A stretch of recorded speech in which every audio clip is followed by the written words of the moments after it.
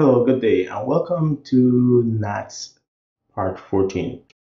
And today we're going to look at the final feature in NATS Jetstream, and that's object storage. So let's jump in. So if we go to the NATS website and we click on the documentation for Jetstream, and then we jump down to the section on object store, we'll see that it says the following about object store. The object store is very similar to the key value store in that you put and get data using a key.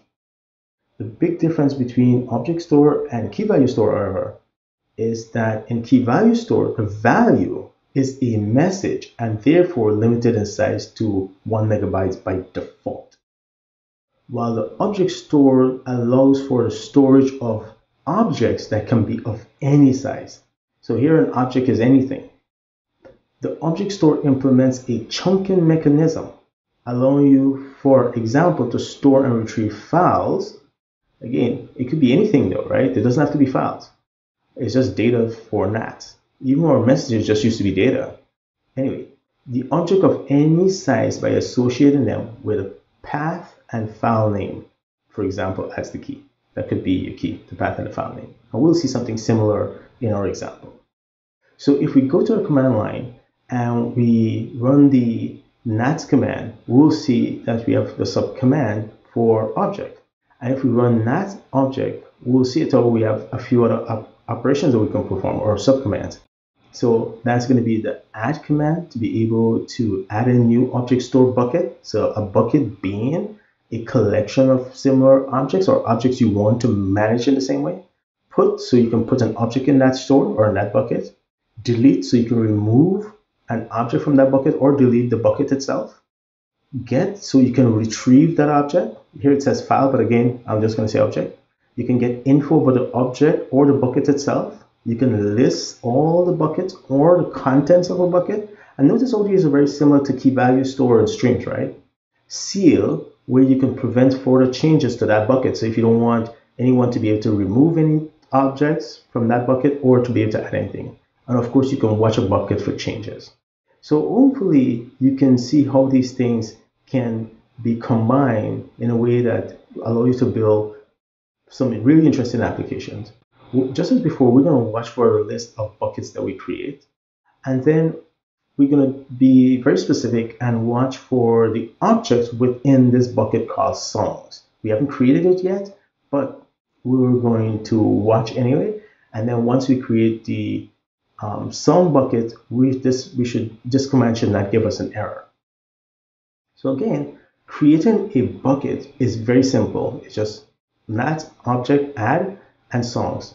Notice how we see similar kind of outputs for when we create a key value store in terms of replicas, time to live, and so on. But notice there are other things too, like seal flag. And then there's the stream name. Now it has obj underscore in front of the name, just like key value at kv underscore. We're not going to use the stream ls command with a minus a option to actually see this because it tells us here and you know to do that already. So that's fine. So what about um, us putting an object into our bucket? Notice our song bucket was never used and shows when it was created. And of course, occupying zero bytes. So if we say um, ls, for example, in my directory, we'll see that I have this music directory, a NATS configuration file, and a video directory. Um, I can do fd to list everything, including the files and the subdirectories. Now, one of the things I can do is say that I want to store um, these files in buckets, and we'll get to that in our examples. But for now, let's just do something very simple and store our configuration file into a bucket. Uh, so we do nat object put, and um, oh man, I'm supposed to put the name of the bucket. So let's go back and put the name of the bucket.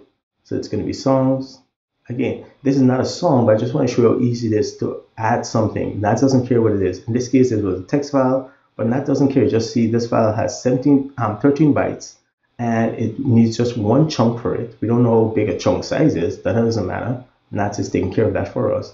It gives us the checksum, you know, SHA 256 value for us to be able to say this is a checksum that represents this data that is stored or the file. And then um, we can see in the middle part of the screen that it shows us the key name there is the file name and the data, how many bytes and the time. Okay, very simple. It should also show us the total usage of our bucket. We can remove um, this object from this bucket again by um, specifying the bucket and the key for that object, which in our case, since we're dealing with file, we're going to use the file name as the key, but you don't have to, right? Um, NATS doesn't really care, it just need a key. So let's go into our music directory. And within here, we see we have two subdirectories, one called Exodus and Kaya. And so what I can do is use fd command to list all the files in this directory. If I wanted to just list the files alone and not the directories, I can do minus T and F options to say list files. Then I could use the minus X option to run a command. And the command I want to run is nat object put into songs, uh, whichever file you found, the full path and file name. And so this is going to look like a directory name. So a key is going to look like a directory name slash the file name. And so that's okay. It doesn't really matter for us. That's just how we want to store it. So now you can see within NATS, we have these files stored, these file stores are object, and the key for each file look like the path and the name. And if we were building an application, we can simply, like when we we're building our music streaming um, application in our previous example, we can add this information to the key value to say where should I get the actual data? Because remember when we were storing the key and value, we are just storing metadata about the song that's to be streamed or the video that's available, but we didn't store any information about the actual song itself. So now you see where we can have this information stored. And we don't need to update this, unlike the key where we keep updating with the current song and the next song and so on. We don't need to do that with the files. Once we put it in there, that's it. It stays there. And so the client can now fetch the data whenever they want for whichever song or video they need to play. So let's download one of these um, songs. So let's select this one, Kaya um, track 2. And so I highlight the entire key. And if I were to go back to my command line, and if we do ls, you'll see that this file is not here. Remember, it's in the subdirectory Kaya. But I'm going to get it and store it in this directory. So I say get and from the songs bucket and I give it the key.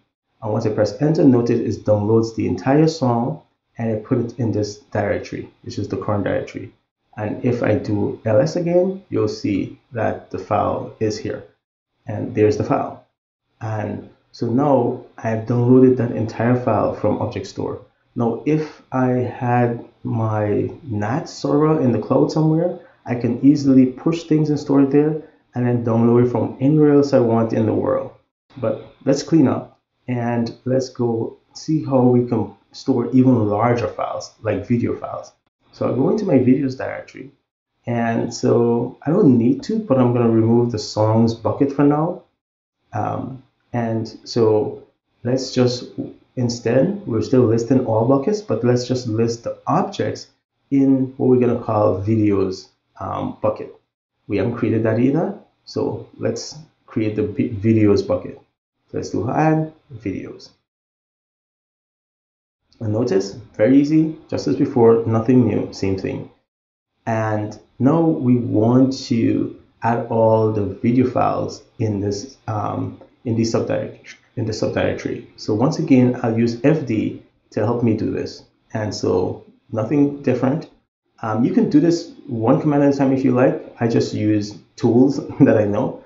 And so the fd command um, knows how to list all the files in this directory and subdirectories. And I'm telling it to put it in the videos. The open and close curly braces there just means the file name with the path. Anyway, so that's been uploaded.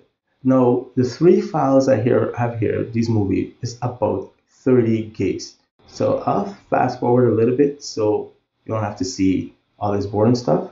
Now you can see that it's finished. And you can see here that we're listing the videos in that and the objects in that video bucket and you can see the three files are listed there. And from the terminal, you can see all information about the files, how many checksum and that sort of thing. Again, we don't need to worry about a checksum. We can just trust that it knows how to chunk the data and store it. Again, I'm going to try and download the smallest file here just so we don't have to spend too much time waiting. And I can demonstrate that, yeah, the file is not here.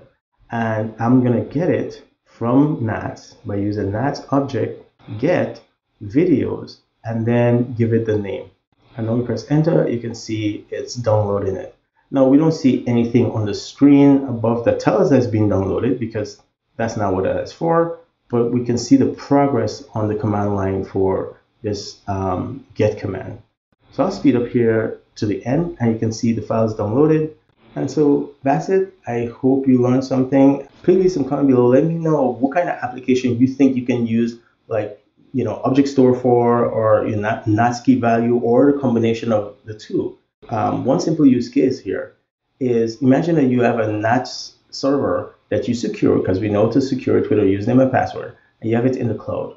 And maybe you take photocopies of important documents like your ID, passport, that sort of thing, and you upload it to your NATS server. And now when you go traveling somewhere, just in case, let's say you lose your ID or something, and you needed, you know, a copy of your ID really quickly to just really get the ball moving and get a new ID, you can just simply go to a cafe in that remote location or wherever you're traveling and just download that document. So this is a simple example you could use something like this. Now you don't need to deploy NATS in order to have this capability. Of course, you can have an AWS accountant do it.